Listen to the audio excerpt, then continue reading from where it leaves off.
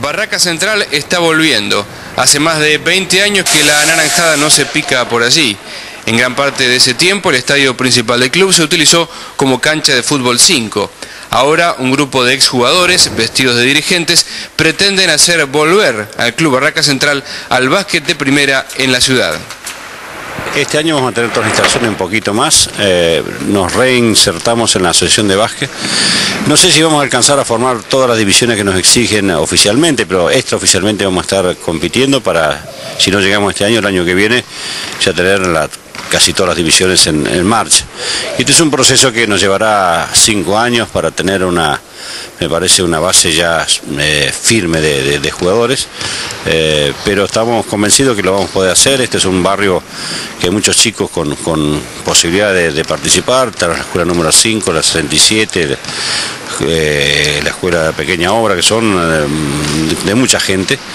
El primer paso para que Barraca Central siga siendo sinónimo de básquet es la instalación del piso de madera. En un mes estaría concluido.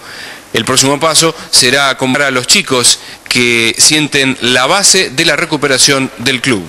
La propuesta del club es, muy linda, muy seria. realmente estoy muy contento de estar eh, en este proyecto porque eh, lo están encarando con mucha seriedad, con muchas pilas, con muchas ganas.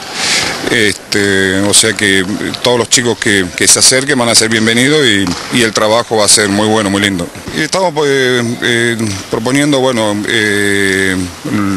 lo que es la escuela de iniciación en básquet para los más pequeños y los más grandes, este, también darle una rutina de entrenamiento y demás que se puedan este, desarrollar y, ir perfeccionando para que así el club pueda presentar las, categorías competitivas en, poco tiempo. ¿no? Eh, esperamos que en un mes, un mes y medio más tengamos una gran cantidad de chicos como estos que ustedes ven hoy aquí con, con la camiseta, que para nosotros es un, es un digamos, conmovedor verlos otra vez con una camiseta del club. Este, a, partir de ahí tengamos en este año una incorporación de 100 o 120 chicos este, ya con este club como referencia. El Estatuto de la Asociación Bahiense de Básquet exige la constitución de tres categorías menores y un plantel de segunda división para que el club pueda reafiliarse.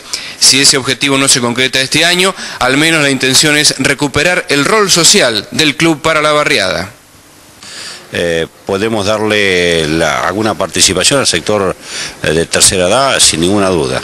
Eh, y si nosotros tenemos a los chicos este, con, algún complemento vinculado a lo cultural o a la formación complementaria aquí, que se pueda dar un curso, alguna cosita de un apoyo escolar dentro de, de este club, me parece que estamos cumpliendo el rol social para los cuales fueron creados y a su vez, digamos, con el objetivo básico de que los chicos tengan un ámbito para para crecer digamos, en, las mejores condiciones. Aquellos que quieren sumarse a la patriada del retorno de Barraca Central no tienen más que acercarse a la entidad de Thompson al 600. Allí podrán sumar su granito de arena para que el club pueda tener su propia luna de Avellaneda.